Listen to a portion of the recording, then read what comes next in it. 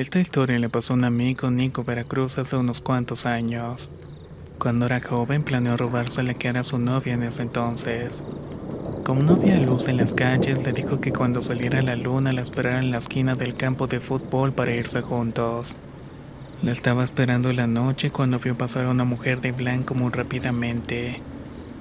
Esta mujer no se detuvo y continuó su camino. De inmediato se puso a seguirla para alcanzarla, pero por más que caminaba no se le acercaba. Era un camino largo y oscuro solamente la veía a lo lejos, hasta que por fin tuvo que correr para darle alcance. Cuando empezó a hablarle y decirle que lo esperara, la entidad aquella soltó un grito aterrador para después desaparecer. Al ver eso se le pusieron los pelos de punta. Se dio la vuelta y salió corriendo lo más rápido que pudo hacia su casa. Solo alcanzó a llegar para caer desmayado.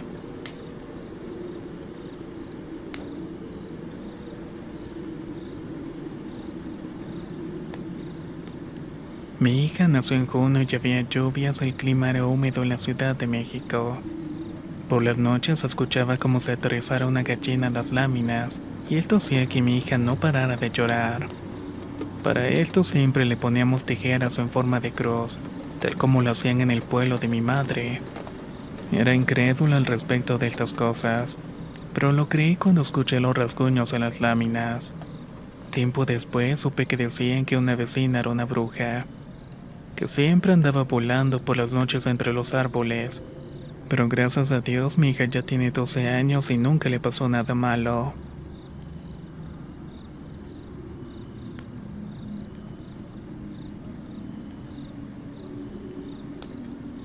La verdad nunca pensé que los animales sintieran celos, pero esto ya me ha dejado pensando.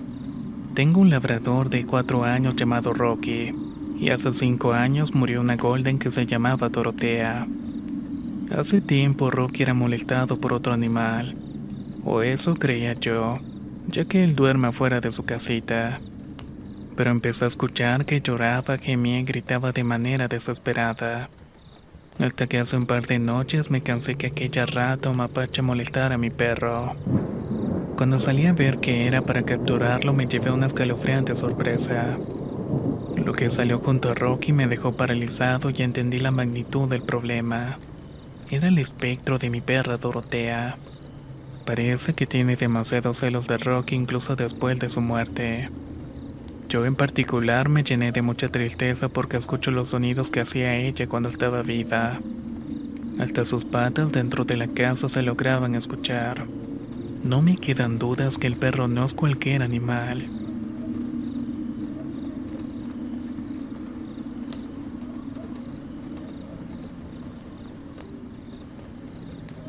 La primera vez que me tocó ser testigo de eventos paranormales fue a los 8 años en una fiesta de Navidad. Estaba con mi primo viendo la televisión mientras mis padres y mis tíos preparaban la cena. Pasando 10 minutos, una fotografía de un tío que estaba colgada en la pared salió proyectada hacia los pies de la cama como unos 7 metros. Era imposible que se cayera sola porque estaba con un clavo. Menos probable que llegara hasta allá porque debajo de esta foto había un mueble. Salimos corriendo y les contamos, pero al principio nuestros padres no nos creyeron. No fue hasta el día siguiente que se enteraron que habían asesinado al tío de la fotografía.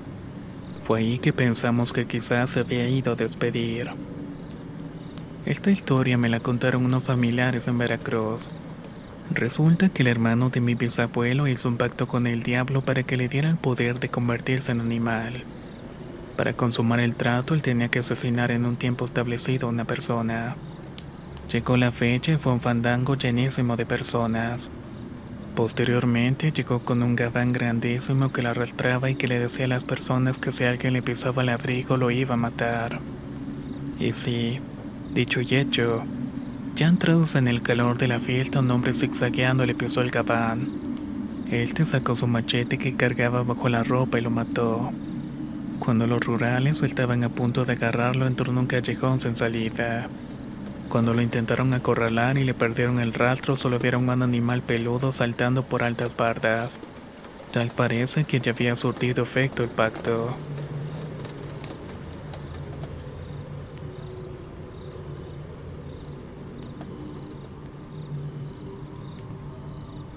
Soy originario de Zacatecas y voy a contar algo que me ha sucedido desde la edad de los 5 años. Fue a partir de que murió mi hermana. He visto todo tipo de cosas y poco a poco dejé de darles importancia. Pero hace dos años algo me dejó realmente impactado. Iba llegando a la casa y entré a mi cuarto desde el cual se ve la calle. Ya era tarde cuando de repente a las dos de la madrugada empecé a escuchar un caballo relinchando a lo lejos. Me levanté y cerré las cortinas de la ventana para poder asomarme sin que me viera. El tropel comenzaba a escucharse más y más cerca. Me quedé esperando hasta que salió la silueta de una carreta. Luego me le quedé viendo hasta que pasó enfrente de mi casa. El jinete de esa carreta negra era un viejito jorobado. Los caballos eran también negros y solamente llevaban los ojos cubiertos con un manto rojo.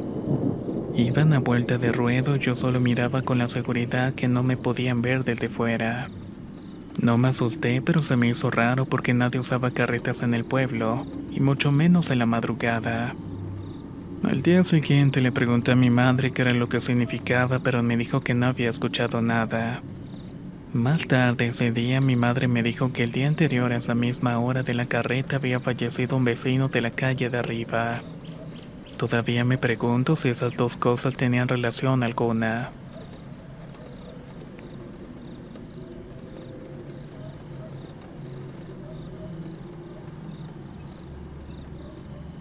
Cuando tenía ocho años mi tía y mis primos solían vivir con nosotros. En aquel entonces la casa del vecino tenía un árbol grande. Mi mamá decía que en esos árboles vivían duendes, por lo que no nos dejaba jugar en el techo. Una noche mi madre tuvo que salir a dejarle la comida a mi padre en el trabajo.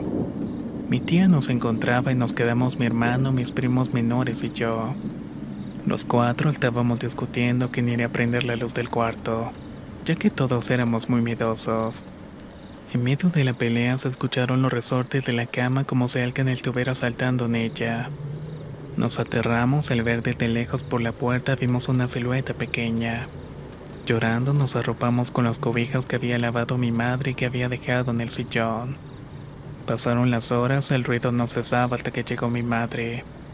Exactamente cuando abrió el portón de metal se escucharon pequeños pasos salir corriendo. Nosotros también corrimos y le contamos todo a mi madre. Ella encendió la luz y la cama era un desastre. Nos dijo que no nos asustáramos y que solamente eran duende, y en nuestra familia siempre se nos han manifestado sus seres. Después de ese día los hemos escuchado en múltiples ocasiones, a veces corriendo, saltando, riendo con risas burlonas y macabras. Incluso nos han escondido cosas y gastado bromas.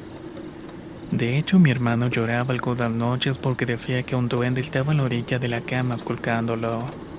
Que según mi madre busca el anillo de oro de mi hermano.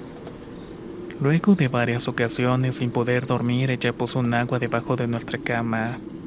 De esta manera nunca más se volvió a acercar.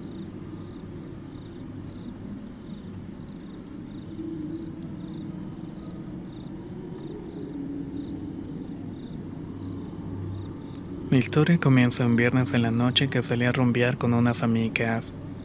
La pasamos tan bien que incluso amanecimos como eso de las 10 de la mañana. Ya amanecidas decidimos ir al negocio donde trabajaba mi novio. Era un negocio campestre donde venden carne asada, licor y tienen una piscina. Se podría decir que era un sitio de ambiente familiar alejado de la ciudad. Yo comí como eso de las 2 de la tarde me dio sueño me acosté a dormir en una hamaca hasta quedarme profundamente dormida. Pasó el tiempo y cuando me desperté me vi en completa soledad. Todo estaba silencioso y solamente se escuchaban los insectos nocturnos. Me molesté mucho porque pensé que me habían dejado sola. Cuando me resigné a que estaba sola, salí a la calle a ver si encontraba algún carro que pasara y me diera un aventón, o por lo menos que me acercara a mi casa. Cuando llegué al portón me alegré mucho porque vi a alguien parado. Pensé que era mi novio y me le acerqué preguntándole dónde había estado. No me contestó y observé que se movía de una manera extraña. Lo hacía como tambaleándose como si hubiera tomado mucho alcohol. Me asusté un poco, pero eso no fue nada. Cuando estuve cerca de él lo miré bien y no tenía pies. Todo mi cuerpo se me erizó y sentí un frío paralizante. No lo podía creer porque estaba flotando. Me detuve y fui subiendo mi mirada para darme cuenta que no tenía rostro. Era un vacío oscuro. Sentí tanto miedo que me di la vuelta y salí corriendo con lágrimas en mis ojos. Como 150 metros vi a mi novio y lo abracé tan fuerte que al verme me preguntó qué era lo que me pasaba. Le dije que había visto un hombre en la entrada, mas no di detalles. Él tomó su arma y salió a buscarlo, pero no encontró nada. Después de eso no volví a ese lugar y terminé con mi relación. Pero a pesar de los años, esa imagen me persigue. Es algo que nunca podré olvidar.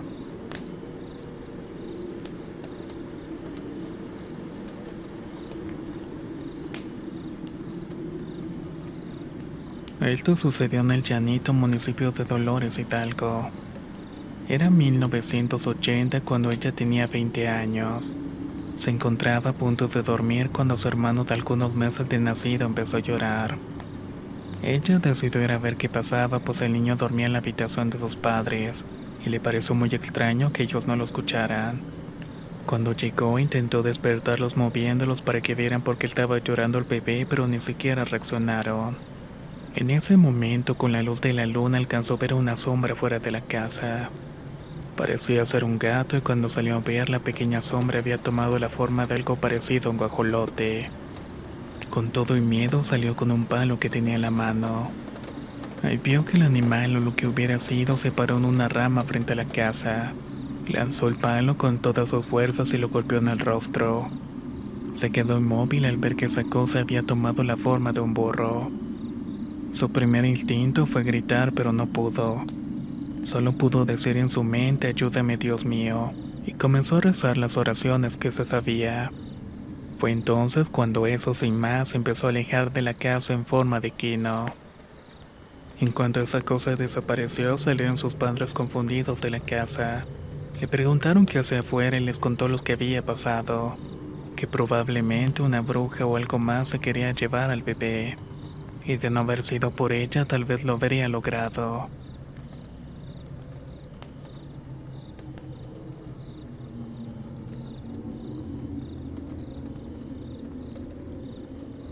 Viví un tiempo en la colonia centro de Morelia, Michoacán.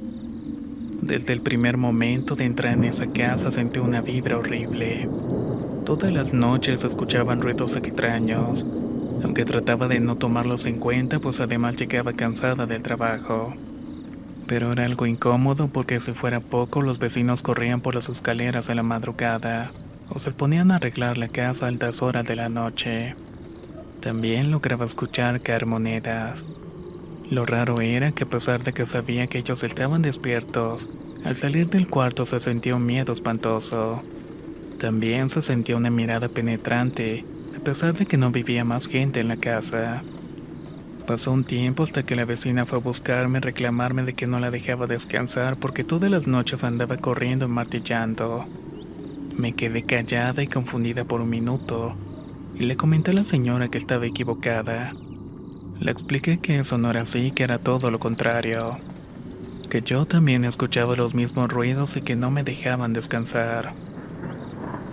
La cosa es que desde esos días se incrementaron los ruidos. Luego, un día temprano, vi como en mi cuarto se empezaron a pintar letras extrañas en el techo de la casa. Era como si un pincel mojado las estuviera haciendo. Salí corriendo y le enseñé a la persona encargada. Me preguntó cómo había hecho y obviamente le dije que desaparecieron solas. Después de eso no duré mucho tiempo antes de cambiarme. Creo que fue lo mejor que pude haber hecho.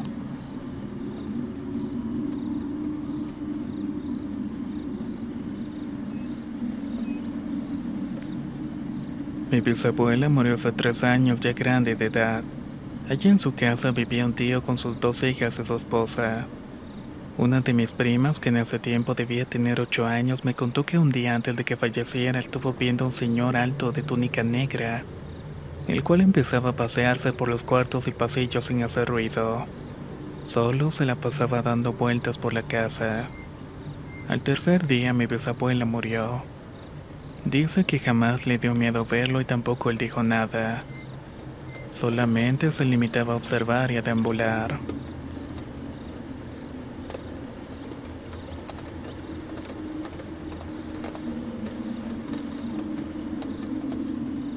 Tengo 20 años y soy de Chiclayo, pero justo ahora estoy escuchando las historias que otros relatan y quisiera compartirles algo que está sucediendo en mi casa.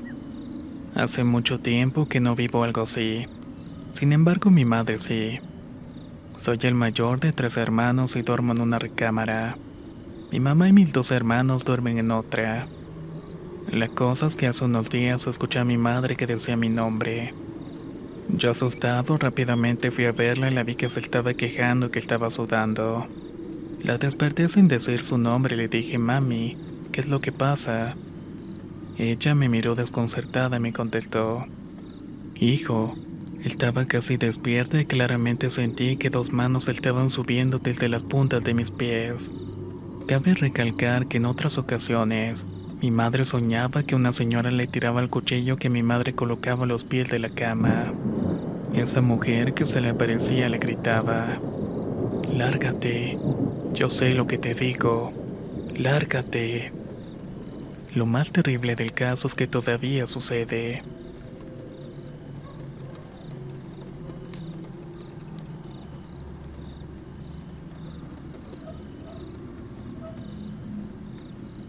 Soy de Monterrey, México y esto me pasó cuando tenía 12 años. Iba llegando de ir a cenar con mis padres y mis hermanos. Todavía no me bajaba del auto cuando mis amigos de la cuadra ya me estaban queriendo poner un celular con una grabación extraña. Ellos sabían que me gustaba todo lo paranormal, y por eso estaban desesperados para mostrarme el audio.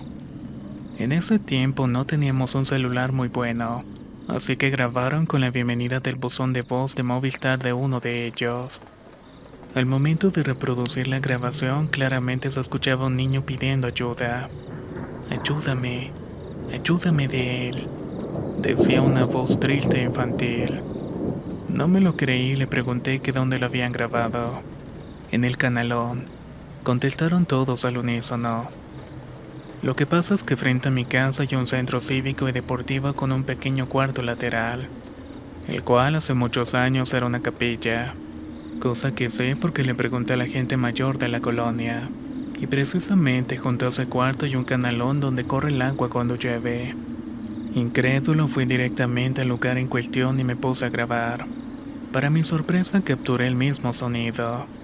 Hasta me aseguré de borrar el audio y volver a grabarlo en tres ocasiones y claramente se escuchó la misma frase. En ese momento salí corriendo y no supe nada más por ese día.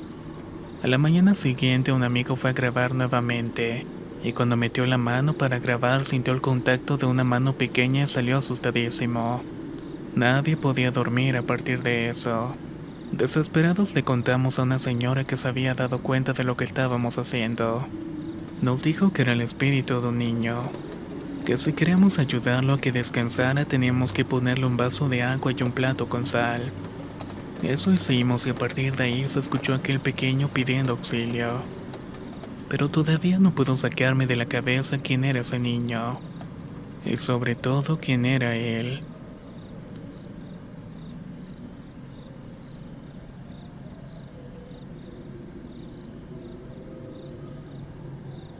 Vivo en Toluca, Estado de México, y esto le pasó a mi tío cuando falleció su suegro. El día del entierro, mi abuelita, mi tío y algunos señores se quedaron a ayudar a dar comida para las personas después del sepulcro. Eso es algo que se acostumbra mucho en la región.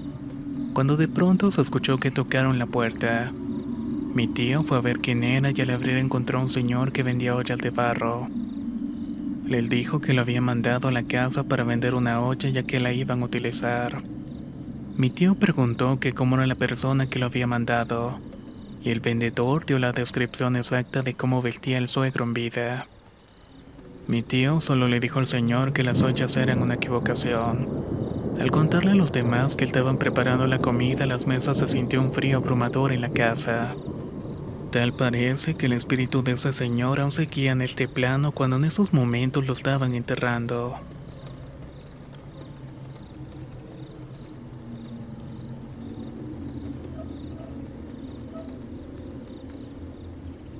Quiero contar uno de los episodios de algunos que siempre me han pasado, pero que después de esa ocasión se hicieron más frecuentes. Tengo 24 años y soy de Santa Ana, en El Salvador. Me considero alguien extrovertido y directo. Todos me conocen por eso y desde pequeño he tenido sueños extraños. Algunos en los que alguien muy elegante me ofrecía dinero y fama, y otros en los que veía y hablaba con mis familiares muertos. Pero todo cesó cuando me llevaron un sacerdote que me hiciera una oración, y así pasaron varios años sin tener sueños de ese tipo. Hasta una ocasión que iba caminando por la calle y un hombre se me acercó de repente. De la nada me dijo que no me preocupara por las brujerías y siguió su camino hasta desaparecer de mi vista. Aquí debo decir que también he sido siempre sensible a percibir brujas, porque me han dicho que tengo mucha luz y energía, y que de alguna manera siempre estoy protegido por los muertos. Entonces, después de ese día, regresaron los sueños, y hace cuatro años desde eventos sujetos vestidos de negro se me acercan frecuentemente. Me ofrecen dinero atado a un hilo y me hablan y me dicen que les intereso bastante. Pero me animé a contar esto porque ayer precisamente tuve otro sueño pero ahora con un nombre totalmente diferente. De hecho parecía un tipo normal. Vestía saco y camisa y venía con la misma tentación, una carta llena de dinero. Me armé de valor y un poco sonriente rechazé la oferta, pero se dio media vuelta y al voltearse de nuevo me enseñó muñecos negros pequeños. Eso sí me asustó un poco, pero justo ahí desperté. Alguien sabrá qué significan todos esos sueños, y lo más importante, cómo puedo dejar de tenerlos. De hecho, la semana pasada me fui al velorio de un pariente y me encontré con un primo de 26 años, que se dice después de una experiencia con la muerte empezó a ver cosas que los demás no podían. En la noche de la vela nos pusimos a conversar. Noté que estaba triste por la partida de su abuelo. Comenzó a preguntarme varias cosas cuando de repente gritó frente a todos. Tienes mucha luz, sos igual a mí. Podemos ver cosas que otros no pueden. Algunas personas se nos quedaron viendo pero no pasó nada más. Tal parece que no soy la única persona que sufre de este tipo de cosas.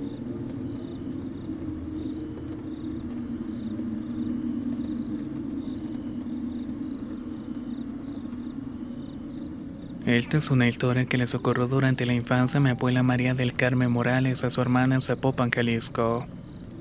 Cuando era pequeña era muy pobre y no tenían camas donde dormir, por lo que su mamá elaboraba colchones de tela y ropa. En ese entonces, por ser pequeña, no podía dormir bien. Por las noches se asustaba y se hacía pipí en la cama, a lo que su madre le regañaba fuertemente. En esa situación ella recurría a cambiar su colchón por el de su hermana sin que se diera cuenta. Pero a la vez que la vio se enojó mucho y discutieron acaloradamente al punto de querer agarrarse a golpes. Mi bisabuela muy enojada le dijo que el diablo, como ella le decía al charique, vendría por ellas en la noche. Ellas creyeron que su madre estaba jugando y lograron arreglar el pleito. Pero cuando ya estaban durmiendo, mi abuela sintió un fuerte jalón que la tiró de la almohada. En ese momento se despertó y lo vio. Se quedó en shock y trató de gritar pero no pudo. Fue cuando sintió las manos frías con unas uñas de un ser negro. Era muy greñudo con una cara horrible. En ese momento se despertó su hermana y se dieron cuenta que el monstruo se dirigía al baño y se introdujo por la coladera. Fue tan grande el espanto que mi abuela durante noche tuvo fiebre. No se podía levantar de su cama y tras este suceso sus padres decidieron cambiarse de casa. Tal parece que de una u otra forma recibieron la lección.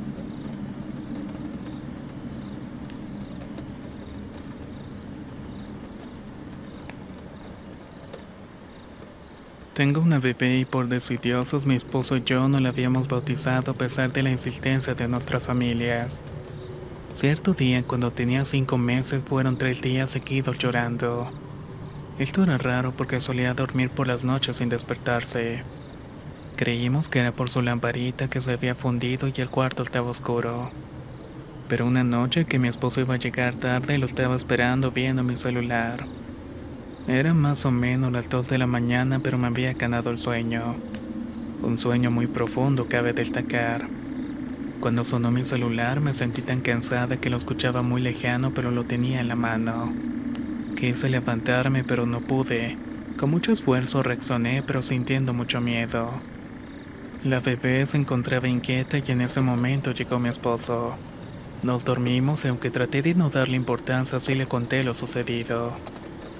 El otro día en la noche nos tocó el vecino nos dijo que le daba mucha pena, pero que debía contarnos algo muy importante. Nos dijo que ayer como a las 2 de la madrugada su perro no dejaba de ladrar y correr por todos lados. Se asomó al patio y notó que extrañamente nuestros perros estaban muy dormidos. Luego volteó al techo y alcanzó a escuchar una risa chillona y ruidos de alas grandes. Se asustó tanto que se metió inmediatamente.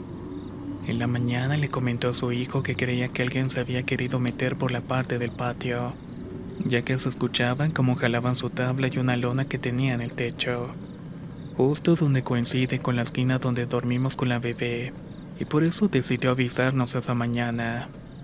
Nos dio mucho miedo ya que vivimos en una zona residencial con seguridad, pero el detalle es que estamos junto al lado del cerro. Ese día habíamos dejado la ropa de la bebé afuera y también revisamos el techo en nuestro patio que estaba techado. Ahí estaba sumida una lámina como si alguien se hubiera parado encima. Nuestra conclusión fue que tal vez la bruja olió la ropa del bebé. Me durmió y tal vez no pudo identificar dónde estaba, ya que estaba buscándola al lado con los vecinos. Los dos días siguientes no pegamos el ojo y escuchamos como alguien intentaba despegar el tomo del pasillo. Fue allí cuando nos apresuramos a bautizar a la nena.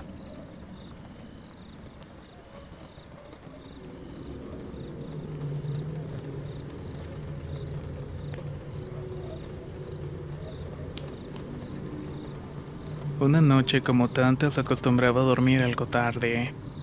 Me encontraba con mi celular con la luz apagada y enfrente de un espejo. Calculo que más o menos eran entre las 2 y las 3 de la madrugada. Me dio sed y me senté en mi cama y encendí la luz de mi celular y miré al espejo y me quedé viendo a mí mismo como por 5 segundos. Ahí fue que noté que mi reflejo no se movía. Pensé que estaba alucinando y me miré otra vez. Levanté la mano y mi espejo no lo hizo.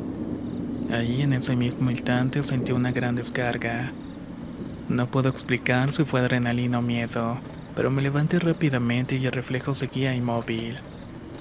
Pegué un brinco a la puerta sin dejar de ver el espejo con mi otro yo acostado en la cama. Fui con mi madre y cuando llegué le dije lo que había ocurrido pero tartamudeando. No creo que me haya creído, pero me encontraba llorando. Fue por eso que me dijo que me acostara con ella. Al día siguiente le dije que quitara ese espejo. Aún lo recuerdo perfectamente. Recuerdo ver mi reflejo mirándome fijamente sin moverme. Lo más aterrador es que algo en mí me decía que ese no era yo. Jamás lo podré olvidar.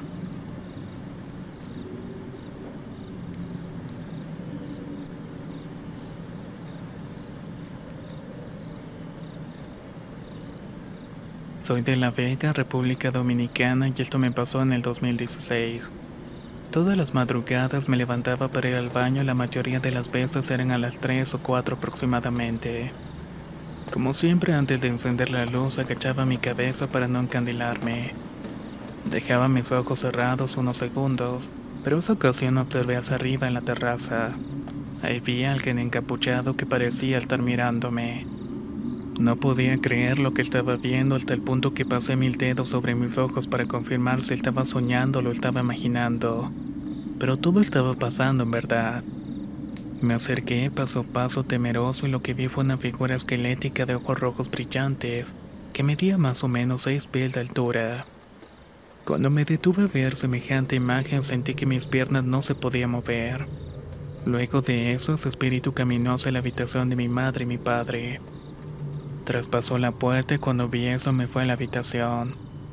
Cerré, puse seguro y me arrodillé y comencé a rezar lo que me sabía. Luego de eso me acosté hasta quedarme dormido totalmente asustado. Cuando amaneció les conté a mis padres y también se quedaron impactados, aunque ellos no lograron escuchar nada.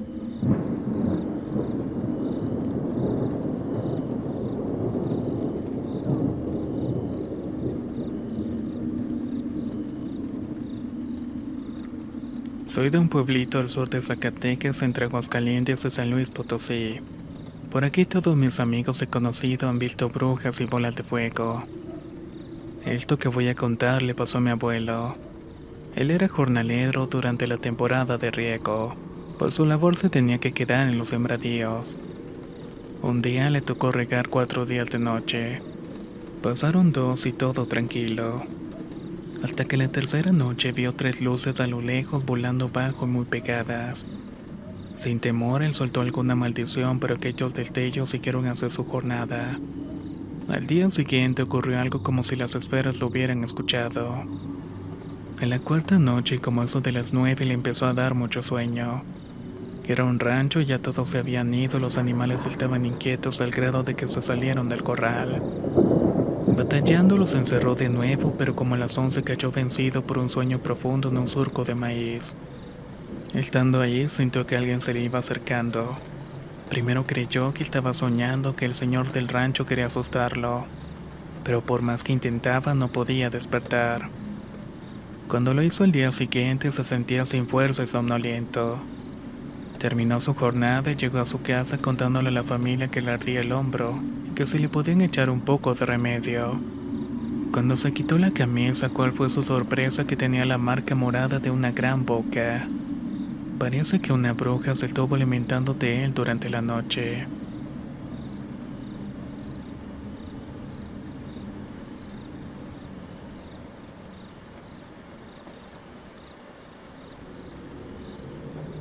Soy de Puerto Rico, pero en estos momentos vivo en Estados Unidos. Y de hecho voy a contar algo que me pasó acá. Me encuentro en Pensilvania y en el apartamento en el cual estoy viviendo hace muchos años, unos tres niños pequeños y su madre fueron asesinados. El perpetrador de esta tragedia fue el propio esposo. Durante ciertas fechas del año se aparecen pidiendo ayuda, llorando y gritando. En otras fechas se ven imágenes o sombras de ellos. Sinceramente es muy aterrador y cuando pasa los perros ladran y los gatos maullan sin parar. Son periodos en los que no puedo dormir. Pero lo peor ha sido escuchar una especie de murmullos que me piden que no le haga daño a los niños.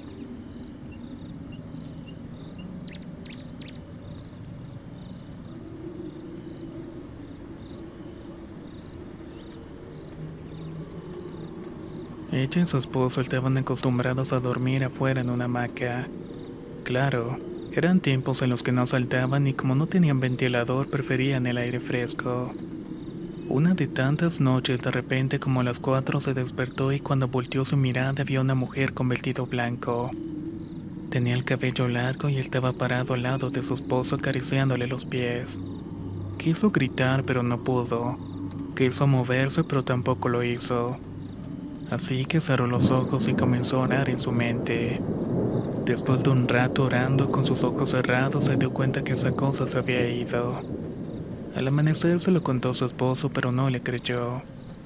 Eso sí, desde esa ocasión no volvieron a dormir afuera.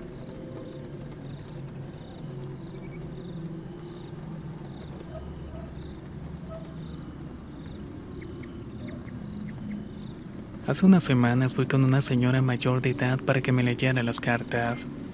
Había estado sufriendo mucha parálisis del sueño. Cada noche me pasaba lo mismo hasta que vi a esta señora. Con el paso del tiempo los problemas afectaron mi salud mental. Lo único que supe hacer era encerrarme en mis sentimientos. Pero al momento de ver a esa señora me entró una paz y me sentí humana. La señora me comentó que va a Los Ángeles desde pequeña y me describió el mío. Me habló sobre lo que estaban planeando y dijo que debíamos estar preparados. Además me comentó el hecho de que Dios quiere más a México, porque es un país más religioso. Que muy pronto la dimensión en la que estamos se va a acabar y que la destrucción está dirigida por Estados Unidos. También me comentó que ya están eligiendo a las personas. Unas irán al Averno y otros a la prehistoria. Y por último otros irán a la quinta dimensión. Pero para ir ahí necesitas dejar de comer carne y perdonar a todos los que te hicieron daño.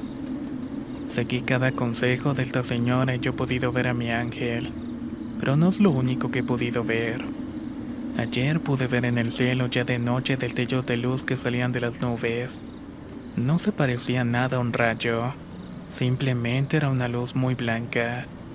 Además de eso, vi a figuras humanas completamente blancas paradas sobre las nubes.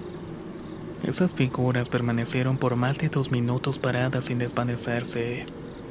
Después de la señora me acerqué más a Dios y no ha vuelto a suceder lo mismo. Puedo dormir cada noche sin miedo alguna porque sé que mi ángel me acompaña. Lo que sí me ha dejado toda esta enseñanza es que hay cosas que no podemos comprender.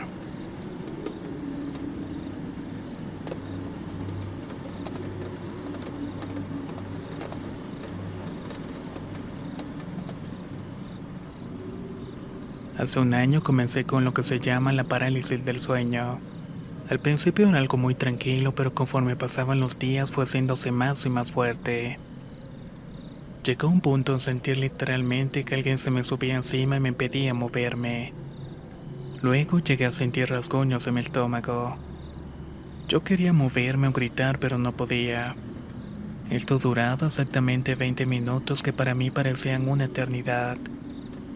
La última noche que me pasó fue lo más aterrador, ya que aparte de los rasguños o los golpes comenzaron a asfixiarme. En mi terror escuché una voz muy tétrica que me estaba diciendo, acaba con ella, esta es tu última oportunidad, ella no debe existir. Seguida de una risa maldita. Les juro que toda esa noche no pude dormir. Lo más curioso es que ha pasado un año de lo sucedido y no me ha vuelto a ocurrir. Espero que continúe de esa manera.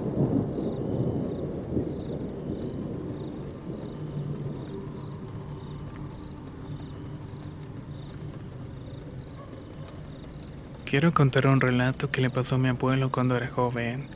En ese entonces él trabajaba en una gasolinera de Petroperú de 6 a las 12 de la noche. Un día antes de que acabara su turno entró a la sala y era la hora de mucho tráfico. Estaba contando todo el dinero que le habían pagado. Mientras afuera su compañero se le presentó una señora de vestido completamente blanco que preguntó por mi abuelo. Le respondió que ya se había ido, pero contestó que era una mentira. Ella insistió tanto que él fue adentro a decirle que lo estaban buscando. Mi abuelo salió y vio a la señora caminar por los carros y entrar por un callejón. La siguió, pero al dar la vuelta ella desapareció para nunca más ser vista. Recordando tuvo la impresión de que esa misma señora se le había presentado cuando era niño, y que al verla también había huido tan rápido que le perdió de vista.